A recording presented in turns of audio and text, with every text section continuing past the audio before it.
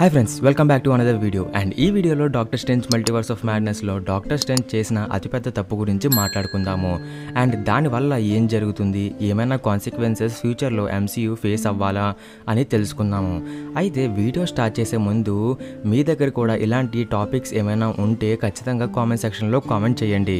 నేను ఇంట్రెస్టింగ్ టాపిక్స్ని తీసి ఖచ్చితంగా వీడియోతో ద్వారా అప్లోడ్ చేస్తాను. అండ్ రీసెంట్గా ఇండియన్ సినిమాటిక్ యూనివర్స్ మీద వీడియో చేయాలా అనే ఒక పోల్ అయితే పెట్టాను.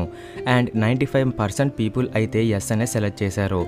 సో దాని మీద కూడా ఒక వీడియో తీస్తాను.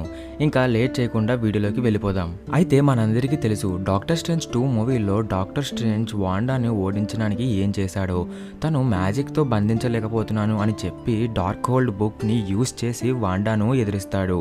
అదే డాక్టర్ స్ట్రేంజ్ చేసిన అతిపెద్ద తప్పు.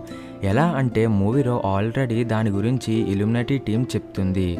అయితే ఆ యూనివర్స్లో ఉన్న డాక్టర్ స్ట్రేంజ్ థానోస్ని ఓడించడానికి డార్క్ హోల్డ్ బుక్ని యూస్ చేస్తాడు. అయితే డార్క్ హోల్డ్ బుక్ను వాడిన వారికి కాకుండా అది ఏ యూనివర్స్లో వాడబడుతుందో ఆ యూనివర్స్కి కూడా ప్రాబ్లం ఉంటుంది. అయితే అలాగే ఆ యూనివర్స్లో ఉన్న స్ట్రేంజ్ డార్క్ హోల్ని యూజ్ చేయడం వల్ల ఒక యూనివర్స్ అనేది పూర్తిగా డిస్ట్రాయ్ అయితే అయిపోతుంది. సో మీరు అలాంటప్పుడు మన ఎంసీయూ డాక్టర్ స్ట్రేంజ్ కూడా డార్క్ హోల్ను వాడాడు. ఇప్పుడు ఏం జరుగుతుంది? చెప్పాలి అంటే దానివల్ల ఒక ఇన్కర్షన్ ఏర్పడుతుంది. ఈ ఇన్కర్షన్ అంటే ఏంటో వీడియోలో ముందు ముందుగా మీకే అర్థమవుతుంది. డాక్టర్ స్ట్రేంజ్ టూ మూవీలో పోస్ట్ క్రెడిట్ సీన్స్లో కూడా జరిగింది అదే. ఆ పోస్ట్ క్రెడిట్ సీన్స్ అర్థం అవ్వని వాళ్ళ కోసం చెప్తున్నాను వినండి. అక్కడ ఒక పోర్టల్ ఓపెన్ చేసుకొని ఒక ఫీమేల్ క్యారెక్టర్ బయటికి వస్తుంది. ఆమె పేరు క్లియా. ఆమె డార్క్ డైమెన్షన్కి సార్కులర్ సుప్రీం ఆమె డాక్టర్ స్ట్రేంజ్తో ఆ ఇన్కర్షన్ను స్టాప్ చేయడానికి రమ్మంటుంది. అండ్ అక్కడితో పోస్ట్ క్రెడిట్ సీన్ అనేది ఎండ్ అయిపోతుంది. బట్ ఇక్కడి నుంచే ఎంసీయూలో అసలు ప్రాబ్లమ్స్ మొదలవుతాయి. చెప్పాలి అంటే మార్వెల్ నిజంగానే పెద్ద ప్లానే వేసింది. అసలు ఈ ఇన్కర్షన్ అంటే ఏంటో కామిక్స్ని ఆధారంగా చేసుకుని చెప్తాను. అయితే ఇన్కర్షన్ అనేది రెండు యూనివర్స్లు ఒకదాంతో ఒకటి కొలాయిడ్ అవ్వడము. ఇది జరిగితే రెండు యూనివర్స్లు కూడా పూర్తిగా అంతమైపోతాయి. ఈ కొలాక్షన్కి ఎర్త్ అనేది సెంటర్ పాయింట్ లాంటిది. ఇంకా ఈజీగా చెప్పాలి అంటే ఒక ఎర్త్ మీద ఉన్న పీపుల్కి వేరే ఎర్త్ అనేది ఆకాశంలో కనిపిస్తుంది. మరి రెండు కొలాప్స్ అవ్వకుండా ఏమి చేయాలి అంటే రెండు ఎర్త్స్లో ఏదో ఒక ఎర్త్ని డిస్ట్రాయ్ చేయాలి అందుకే డాక్టర్ స్ట్రేంజ్ మల్టీవర్స్ ఆఫ్ మ్యాడ్నెస్లో ఎయిర్ త్రీ ఎయిట్ త్రీకి వెళ్ళినప్పుడు డాక్టర్ స్ట్రేంజ్ డార్క్ హోల్ని యూజ్ చేయడం వల్ల అక్కడ ఇన్కర్షన్ అనేది ఏర్పడుతుంది. సో తన యూనివర్స్ని కాపాడడానికి వేరే యూనివర్స్ని డిస్ట్రాయ్ చేస్తాడు.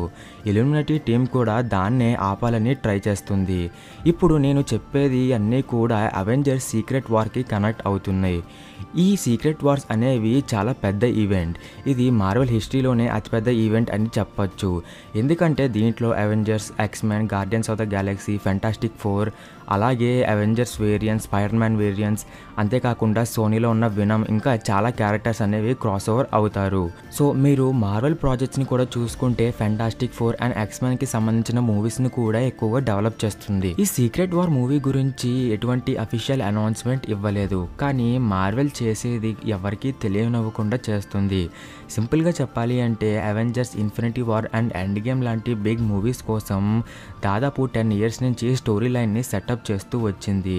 ఇప్పుడు కూడా అలాగే సీక్రెట్ వార్ మూవీ కోసం స్టోరీ లైన్ని సెటప్ చేస్తూ ఉండొచ్చు. అలా అయితే ఈ మూవీ అనేది దాదాపు టెన్ ఇయర్స్ తర్వాత అంటే టూ థౌజండ్ థర్టీ నాటికి రావచ్చు. అన్ని ఇయర్స్ పట్టినా సరే మార్వెల్ స్టోరీ లైన్ అనేది పర్ఫెక్ట్గా ఉంటుంది. అదే మార్వెల్ స్పెషాలిటీ. రీసెంట్గానే మార్వెల్కి సంబంధించిన మెంబర్స్ కూడా ఈ ఇన్కర్షన్ అనేది మల్టీవర్స్లో ఒక బిగ్ థ్రెడ్ అని కన్ఫర్మ్ అయితే చేశారు. ఈవెన్ క్యాంగ్ ద కాంగ్రర్ కూడా మెయిన్ విలన్ రోల్ ప్లే చేసే అవకాశం ఉంది.